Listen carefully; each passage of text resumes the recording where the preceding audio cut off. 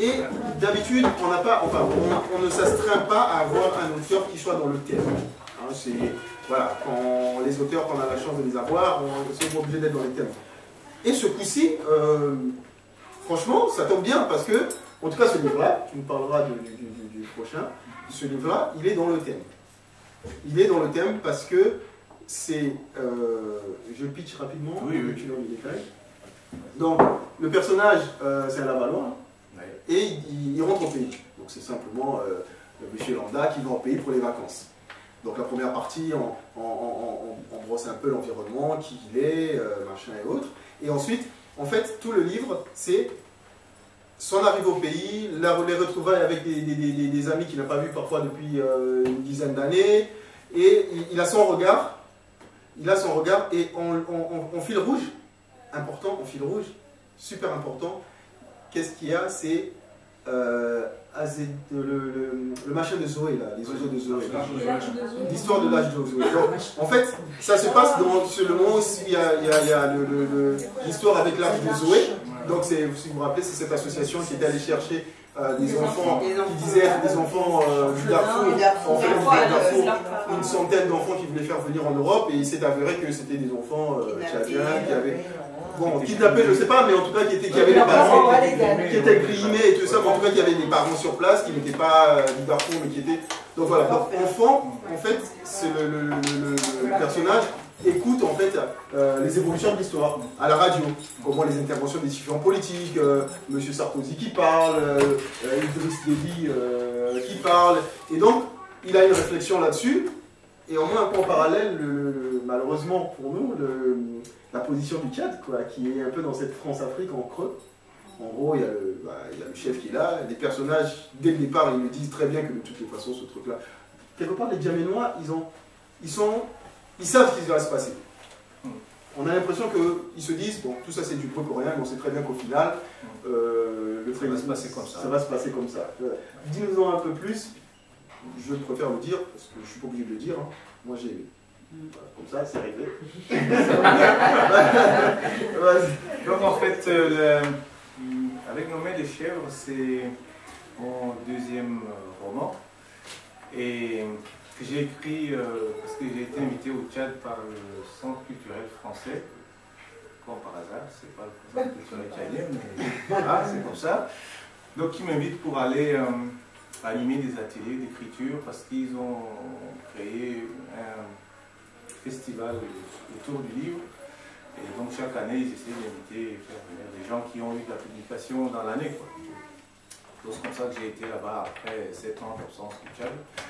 Et voilà, je suis tombé avec cette histoire de l'art de Zoé qui m'a précédé juste un peu ici et j'arrive. Donc euh, euh, l'idée c'est de me dire voilà, je suis parti depuis quelques temps à rencontre, peut-être je vais découvrir des choses qui euh, Nouvelles, des choses qui ont changé voilà, dans le qui pays. vont m'émerveiller ou des choses comme ça. Quoi. Et puis après, je me rends compte que plus le temps passe.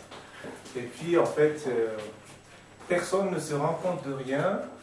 Et puis les choses sont exactement comme voilà. voilà, sont On le restées regarde comme on le regarde avant. de quelqu'un qui revient après des années Voilà. et qui se dit, mais dirait que le temps s'était arrêté. Voilà, c'est ça. Et donc euh, l'expression main de chèvre, c'est que dans ma langue, c'est quand on vous dit que vous avez des mains de chèvre, c'est comme euh, exemple concret. euh, vous vous déplacez, mais vous aurez par exemple quelque chose sur le, le chemin, quoi, votre chemin, sur lequel vous butez, vous vous blessez à la limite, hein, mais vous ne baissez jamais pour le ramasser. Parce que c'est des mains de chèvre. Si c'était des mains d'humain, vous vous en serez servi pour déplacer la chose. Voilà.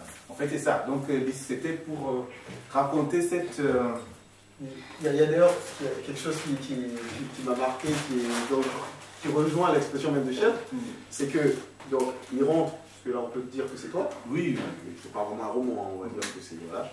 Euh, donc il rentre, euh, ils, veulent- ils vont recevoir du monde qui viennent voir le, le- le- le vacancier, et se dit on va, on va, on va faire une tente pour, euh, parce qu'il y a du soleil et tout, il faut se protéger du soleil. Et donc il faut aller acheter des, des- des- des- outils au marché, du nécessaire et tout, donc il y a un pouce-pouce qu'il faut prendre pour aller acheter.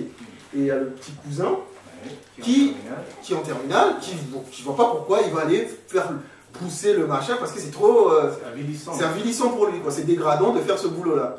Donc c'est le, celui qui vient de, de- de France qui prend, qui va, qui va chercher les- les- le matériel, qui fait la pouce là, on l'avait acheté quand j'étais en collège, hein, 5e, je crois, 87, quand ma mère a acheté ces trucs-là. Et chaque fois, on allait, euh, après les cours, on se relayait, les garçons de la maison, pour aller le pousser. Donc, on allait trimballer les courses des, femmes pour gagner 2-3 sous. Quoi. Mhm. Donc, on ramenait genre 75% à la maison et puis le reste, on gardait pour nous-mêmes. Et comme ça, le lendemain, on était des petits rois au lycée. voilà, pour acheter des petits trucs et tout ça. Et il se trouve que ce, voilà, ce pouce-pouce est toujours là et on a un cousin donc, qui est en terminale. Et donc euh, l'idée c'est de faire ce petit hangar pour accueillir le monde et je lui demande donc d'aller chercher ce qu'on a acheté au marché, donc c'est des sécos en paille tressé avec euh, des poutres, des poutrelles, tout ça pour faire le hangar. Et mais il est simplement incapable de toucher au pouce-pouce. C'est-à-dire que c'est avilissant, c'est le rabaisser, c'est pas possible. Que lui qui est en terminale, il se rabaisse pour pousser le pouce-pouce. Euh, il y a un peu de tout. Voilà, il y a un peu le pays qui est un peu quand même. Je suis pas sûr que les Tchadiens peuvent se permettre de faire ce. Non, mais c'est. Moi, c'était pour ça, oui. C'est vrai que l'idée, c'est de se dire que plutôt que de s'asseoir là et de tout le temps dire. Euh, voilà, la France a mis un dictateur, la France euh, nous empêche de nous développer, la France. il faudrait. Euh, Je veux dire, il y a certaines choses qu'on peut, faire, genre ne pas jeter par exemple les poubelles dans la rue, ou les enlever, ou faire un hangar ça, je ne pense pas que la France mette ses militaires pour empêcher aux gens de faire ça. non Donc, voilà, moi je mets au défi les gens, c'est-à-dire que le jour où on va nous montrer des Tchadiens en train de curer leur caniveau pour éviter qu'il y ait des moustiques qui piquent les mêmes Tchadiens qui les rendent malades, le jour où ils se mettent à faire et que la France envoie ses militaires les empêcher de faire, à ce moment-là, je croirais qu'elle nous empêche de faire les choses. Oui, mais en même temps. avec nos mains, on peut quand même faire certaines oui, choses. Oui, oui, mais en même temps, il ne faut pas faut pas. Bon, j'ai pas lu, mais j'espère que là-dedans, tu n'as pas innocenté la France pour autant. Non, non, mais c'est exactement ce que je dis. Oui, parce qu'il a été incité par les Français. Non, non, je ne sais pas si vous avez écouté ce que j'ai dit. J'ai dit que la France a son rôle c'est-à-dire qu'il y a des choses politiques qu'elle fait. Mais nettoyer, par exemple, dans la carte de quartier, mais quel est le rôle de la France Non, non, non. On va en discuter sur la fin, sur la troisième partie. Le débat, l'échange, c'est sur la troisième partie. Euh, clairement, sur le livre, puisque justement, en toile de fond, il y a cette histoire de de, l'Arche de Zoé, avec les influences euh, françaises pour le coup sur le président, où il y a, le, peuple tchadien est conscient que de toutes les façons, tout le blabla qui sont en train de faire. il a dit qu'il irait les chercher, quoi qu'ils aient fait. Exactement. C'est ce qui s'est passé. Et d'ailleurs, la euh, justice a condamné, mais la justice a condamné tout. ici en France. Ils étaient censés faire euh, leur peine ici. Vous en avez entendu parler encore de cette histoire de euh, Non, non. Voilà, on en a plus. Donc, en gros, c'est réaliste. Ils sont réalistes quelque part. Ils sont résignés. Ils savent que on sait comment ça va se passer. En gros, en gros, les Français vont venir, on va chercher des enfants. Mais il y a toujours cette histoire-là. Évidemment, on parle de l'influence française, de la mainmise et autres. Mais il y a le réalisme de quelqu'un qui vient d'Europe. Et, et, c'est assez. Euh, bon, moi j'ai choisi de mettre euh, certains extraits sur mon Facebook et c'est assez polissant parce que c'est quelqu'un qui va en vacances. Hein. hein style, on sait comment ça se passe quand on va en vacances. Hein. Donc, euh, donc il se il se prive pas de certains, de certains plaisirs. Mais il ne faut pas. voilà, c'est voilà, des paroles d'homme. Hein. Mais non, mais c'est pas, pas quelqu'un qui vient en donneur de leçons en disant Ah tiens, euh, qu'est-ce qui se passe là? Et c'est pas quelqu'un qui est. Euh, c'est pas un saint. Il vient, il va picoler, il y a des filles, euh, d'ailleurs qui sont très bien décrites, hein, les scènes de sexe. Bah, disons que si ça arrive, c'est savoureux. Et, et, et, honnêtement, c'est drôle, c'est. C'est les gênants. C'est les gênants parce que. Euh, oui, c'est un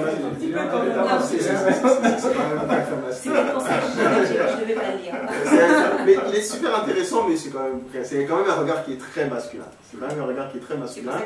Euh, non, c'est parce qu'on parle du Tchad. Parce que que je connais pas. Sur fond de femmes et de sexe et de muscador, euh, pardon, Mais en même temps, justement, on va, on va en profiter. Justement, comme je dis, j'ai voulu dire que c'était, euh, c'était, euh, comment dire, euh, il y a un, un amour, euh, ça a l'air cliché de dire ça, mais il y a un amour des mots. Et là, tu nous parleras aussi du côté chanteur, qu'on retrouve un peu, parce que je ne l'ai pas dit au début, mais il est chanteur. Je ne sais pas si tu es avant tout auteur ou avant tout chanteur. Oh, je ne sais pas trop. Moi, je suis. Euh, un ancien rappeur, hein, c'est quelqu'un qui a commencé par le rap. Donc, c'est. sais pas trop. C'est quelqu'un qui a commencé par le rap, ce qui est très intéressant d'ailleurs. Hein, il a commencé par. En fait, moi, je n'ai pas jamais fait des études littéraires du tout. Donc mon parcours est plutôt technique. Donc après un bac technique, je rentre à, l'université, je fais du droit plutôt. Après je rentre à l'ENA, donc c'est plutôt diplomatie et administration. Après j'ai fait un troisième cycle en économie, donc ça n'a rien à voir avec euh, la littérature. Mais il est vrai que j'avais quand même envie de... Parce qu'en ayant lu des gars comme euh, Sonny Laboutancy, ça m'a donné vraiment très envie d'écrire en fait. Et puis donc vers euh, première ou terminale, j'ai commencé à écrire et je me rappelle même avoir tapé tout un manuscrit quand je préparais mon bac. Maintenant, quand je le lis, c'est assez décousu. voilà. Et donc, j'ai commencé d'abord par l'écriture. Et puis bon, mais c'est vrai, quand on est au Tchad où on n'a pas forcément la culture de la lecture, euh, il y avait l'avènement du rap dans les années 90, donc je me suis dit, mais pourquoi ne pas essayer de écrire des textes de rap Voilà. Donc certains poèmes, mais c'était transformé en chansons de rap. Et, voilà. et aujourd'hui, tu as pris ta guitare et tu mélanges euh, du Brassens, du MC Solar. Euh, Tout ça, oui. Et donc c'est vrai que comme, comme je reviens ah ici en... Je viens ici en Europe, je, donc les deux années passées à Genève, donc vers la dernière année 2000 fin 2002-2003 et j'achète une guitare. ayant déjà fait un peu de rap, euh, j'ai joué avec des musiciens au sud de la France, mais comme venir de Genève, c'était loin. J'ai acheté une guitare et je me suis mis à faire. Et voilà, j'ai fait deux ou trois chansons que j'ai envoyées à des radios. Donc c'est passé à FIP, c'est passé à France Inter, France Culture. Depuis, j'ai fait un troisième disque. Qui est ah, sorti, c'est pas. C'est bien, à chaque fois. Ah non, c'est pas horrible. Euh, ouais, ça marche. Voilà, mais je ne vis pas un groupe ça. Voilà. Je ne vis pas tout ça, je suis plutôt enseignant. Enseignant de marketing. Ça n'a rien à voir avec. Euh, c'est assez Mais, mais c'est vrai que ça se, ça se, ça se, ça se ressent là, hein, que, que c'est un, un, rappeur, c'est un auteur de la manière dont il construit ses phrases, euh, comment il construit ses mots. Ça, honnêtement, mais ça, ça, peut, ça peut s'expliquer par le fait que je dis toujours que le premier livre que j'ai eu vraiment pour moi, c'était un dictionnaire en fait. Mm. C'est-à-dire que euh, on avait un oncle et comme j'étais, vous savez que au Tchad, en tout cas après les, événements 79, on appelle l'événement, mais c'était la guerre. Hein. Donc on a fui au village. Bon, en tchadien, on parle d'événement, les tchadiens comprennent ça. C'est la guerre en fait, donc on fuit au village et là-bas au village, il n'y a, pas de, a pas de livre. Donc euh, comme je ne sais pas si dans d'autres pays d'Afrique ça se fait, mais quand vous allez acheter du sucre ou des choses comme ça, on, dans du papier. Voilà, dans du papier. Et ces papiers journaux là, ça nous permet de, voilà, pour faire le beignet, tout ça, tout ça ça nous permet d'avoir quelques bouts d'écriture. donc comme ça, on passait le temps à lire et chaque fois que je ne comprenais pas un mot, j'allais chez un oncle qui est prof d'éducation physique. Et comme il avait deux dictionnaires, un qui était petit mais qui était bien bouffé déjà, donc je venais chez lui quasiment à toutes les heures. Qu'il a fini par te refaire. Voilà, et puis il m'a dit, bon, mais tu, tu prends ça et puis on fout la paix. C'était comme ça que j'ai eu mon premier livre, si vous voulez. Donc c'est peut-être l'amour des, mots est parti de là en fait. En tout cas, dans ses textes, dans ses, textes ressemblent à ce qu'il écrit. Hein. Euh, écoutez ce qu'il chante, écoutez ce qu'il écrit, c'est savoureux. Euh, moi, honnêtement, dans ce qu'il écrit, j'ai. Je t'ai reconnu. Clairement. je, me suis retrouvé, je me suis trouvé un frère tchadien. Moi, tu vois, quand quelqu'un qui écoute Brassens, quelqu'un qui écoute Brassens et Solar, c'est un génie. Ah dans, dans l'utilisation des mots et tout ça, c'est excellent. Par contre, on ne va pas oublier de parler de celui qui sort. Oui, donc voilà, j'ai suis encore réinvité, j'ai été réinvité encore par le Centre culturel français. Toi, chaque voyage, ça l'année passée, pour aller pour le troisième, la troisième édition du festival euh, autour du livre là. Et il y avait une maison d'édition qui a lancé un, concours pour des textes. Et j'ai participé à ça, donc j'ai gagné le prix, donc ils appellent ça le meilleur roman. Et donc c'était doté d'un peu d'argent, ça m'a causé un peu de soucis parce que chaque fois que les gens prennent à la radio, vous avez gagné dessous ici. Et donc le roman, on m'a envoyé les épreuves là, il va sortir normalement ces jours-ci. Ça s'appelle Le prix des agneaux. Donc il raconte une histoire d'un couple mixte euh, qui décide d'adopter un enfant ou des enfants au Tchad et donc euh, qui fait face à d'énormes difficultés, euh, des lenteurs et des, des, tracasseries administratives. Et en fait, on se rend compte que, quoi qu'on veuille dire, c'est-à-dire que c'est vrai qu'on est quand même dans l'idée de repousser l'Occident qui nous a malmenés, qui nous a rendus en esclavage, etc., etc. Mais en réalité, ces enfants ne sont pas adoptés, ils sont achetés, tout simplement. Mm. Vous allez voir quelqu'un à la direction des affaires sociales mm. et qui vous dit, bon, vous me donnez par exemple 4000 euros et puis je vous donne un enfant. Ok. Et comment ça se passe? Vous faites les papiers, vous lui donnez les sous, il va dans, à l'orphelinat et il voit les enfants. Bon, mais je veux celui-là, je veux celui-là, etc. Donc, euh, c'est ça qui s'appelle le prix des agneaux. Voilà. le côté administration, justement, ça, je reviens encore là-dessus, mm. mais c'est du vécu. Enfin, Tout à fait. Il y a des choses là-dedans euh, où il va chercher, il veut aller chercher son, son visa, non, sa pièce d'identité. Et pendant 5 jours, on le fait tourner en boîte parce qu'il a décidé de ne pas corrompre. Voilà.